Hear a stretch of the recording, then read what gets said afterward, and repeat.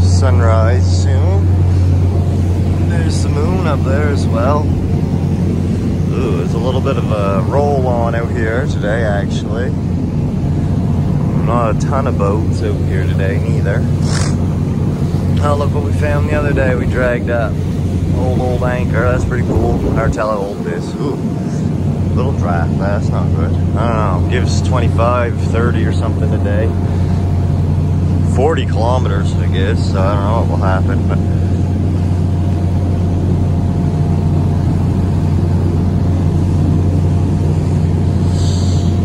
Out here doing it.